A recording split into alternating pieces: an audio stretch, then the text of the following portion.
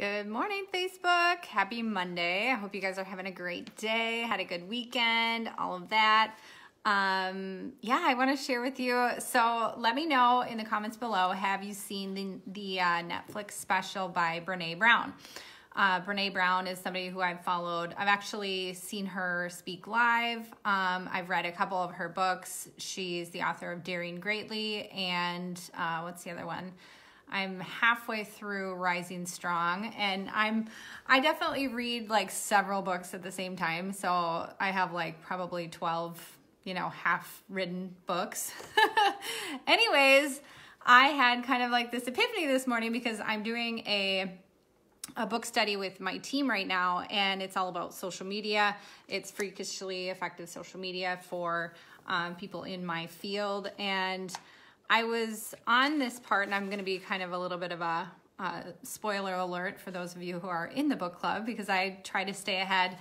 Um, but it was talking about something along the lines of vulnerability, where it was talking about, you know, letting people be themselves is totally duplicatable.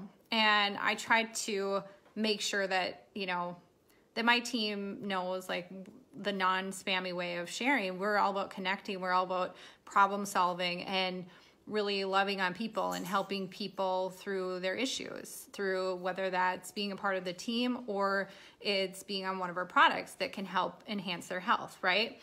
And so as I was watching the Netflix special, which I did in like three different incre- increments, just because that's what worked for me, um, I turned it on the other night and it was talking about this this word called foreboding.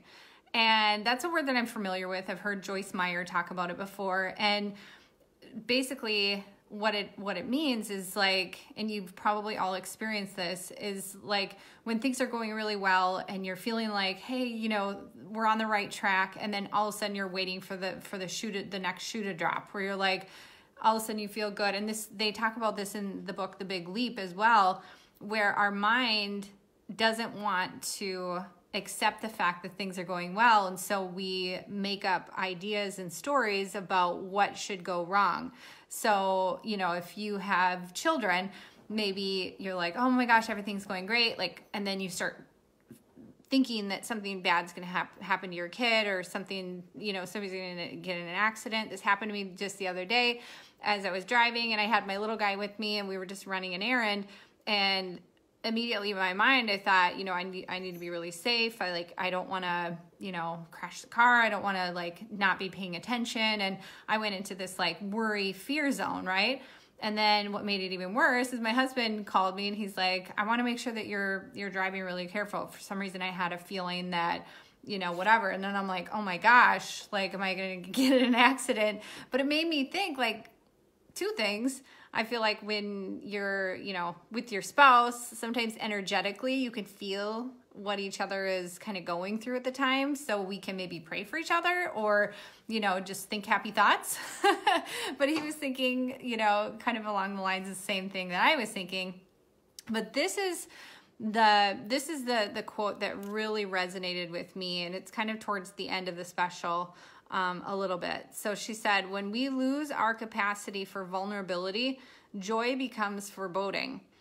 And that just like struck me because I'm like, that is so true. When we lose our capacity to be, to lean into joy, to allow ourselves to actually accept that things are going really well and to be like, wow, you know, I'm going to enjoy this moment and I'm going to fully enjoy it and I'm going to fully give myself to it but instead, we stop ourselves and we're like, you're not allowed to feel that good. You're not allowed to feel that much joy. And most likely, if things are going so well right now, then something's going to go bad. And so when I read that, when we lose our capacity for vulnerability, joy becomes foreboding.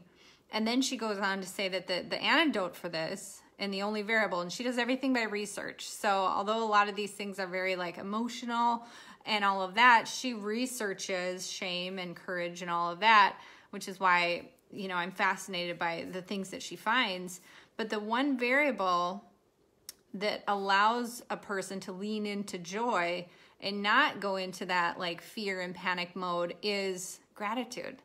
So gratitude is the one thing. And then I, I started thinking to myself, you know, have I been doing my gratitude practice? And then my friend Karen did a Facebook Live the other day, and I was like, and she talked about kind of a similar thing. And it's like, I have fallen out of that a little bit. And it's like, we need to make sure that we're doing that practice, writing out, you know, five to seven, maybe 10 things a day that we're grateful for. So we're in that constant state of allowing ourselves to feel and allow, allow our bodies the, the physiology. And she talks about this vulnerability is a physiolo- physiological change.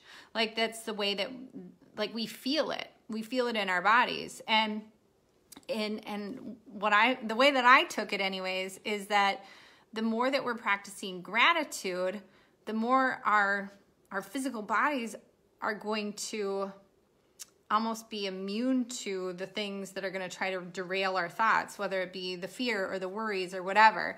So hopefully this is landing. Thanks, Jen. Thanks, Crystal.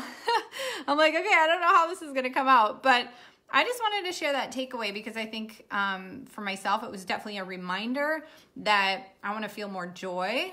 And if I'm not feeling joy and if I'm allowing myself to go into that space of worry, then it just means that I'm not, you know, being diligent with my practice of gratitude. And it could be just a five minute practice every day.